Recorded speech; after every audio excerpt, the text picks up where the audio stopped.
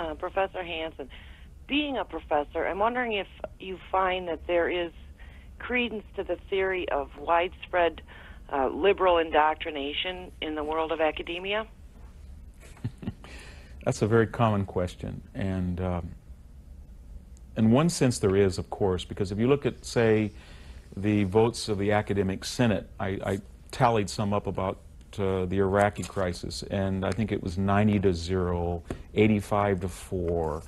Um, anytime an academic senate of a major California university, for example, weighed in on something they really don't have any control over, but as a voice of conscience, they were so one-sided as it was not even believable. What is an academic senate? An academic senate are, is the governing body of a university that's made up by its faculty, faculty representatives. And you would think that if the general public um, was 55-45 or 60-40, then that might be approximated in a university, not to be 99%. And there's other, there's other mechanisms that we can detect that. What sometimes faculty identify themselves as Republican or Democrat. And it's about 80-20 in all the surveys I've read.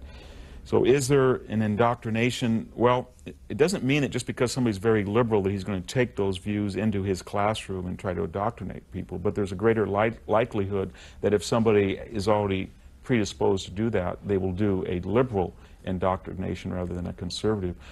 Um, I just, this might be controversial, but I really do think that there's something about the modern university, the idea that we work a nine-month year, the idea that we get tenure for life, the idea that we were in the classroom six to eight hours a week, um, that it's not real, that people on a farm or people plumbing or people here what you do don't have that same work environment. And that always throughout history creates an unreal expectation about the, how the world should or would work.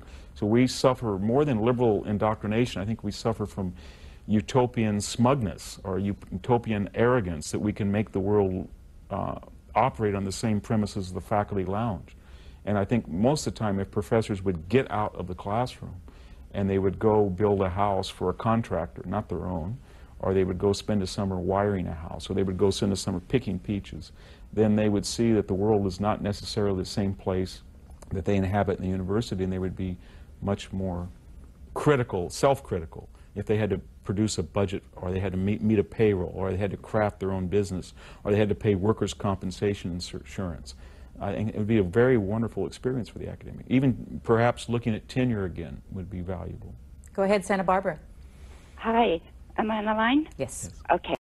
Can you explain to us what this uh, is? I don't even know. Is it a photo? What is this on the front? Uh, you have to show it. I think it's burning books. Oh, it's burning uh, books. yes, and that but was it's from done- a campus. Yes.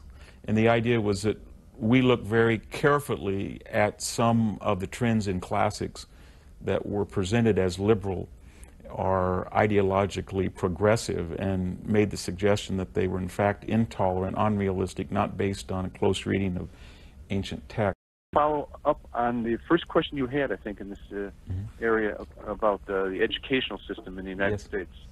Um, I think it's uh, one of our biggest problems, and uh, I think the uh, unionization um, of the uh, of the uh, educational system um, and a lack of school choice has really hurt the, the country and continues to hurt the country. I think it's one of the things we need to address. I'd like to have your thoughts on that.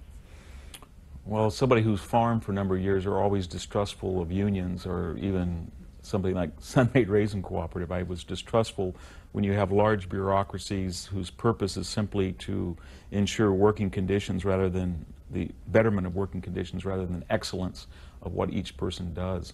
So I, I'm very worried about unionization in high schools and. I worked for 20 years at a unionized campus. And I, that came home to me once when a union official said to me, we have a 93% tenure rate. And that was a boast of the degree of union scrutiny over personnel decisions. And I had met a lot of our assistant professors over the years, and believe me that that's not necessarily a recommendation of our university, especially when a person who is tenured, then if they have a thousand students per year, can go on and affect 30,000 lives in a very negative way.